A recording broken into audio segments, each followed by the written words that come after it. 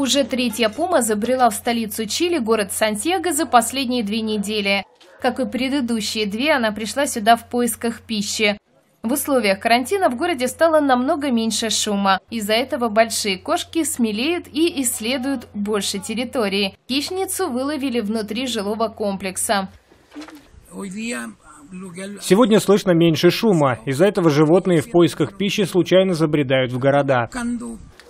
Ее отправят в зоопарк Сантьяго для проверки здоровья. Если все будет хорошо, ее, как и предыдущих двух, отпустят в дикую природу.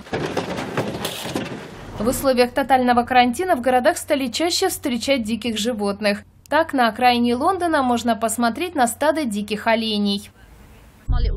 Моя дочка считает, что это Санта отправил оленей, поскольку везде карантин. Они должны следить, чтобы со всеми все было хорошо. Оленей здесь видели и раньше, но теперь на них сможет посмотреть больше людей, поскольку из-за карантина многие выходят просто погулять. Ранее в объективы телеканалов Уэльса попало стадо диких коз, которое свободно ходит по улицам одного из городов и ест кусты и траву.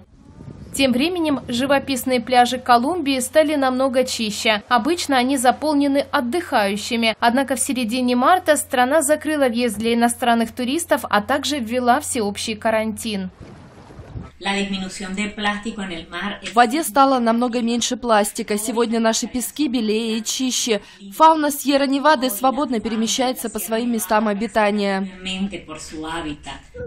Ученые говорят, что на пляже вернулись птицы и другие животные, которых раньше отпугивал шум людей.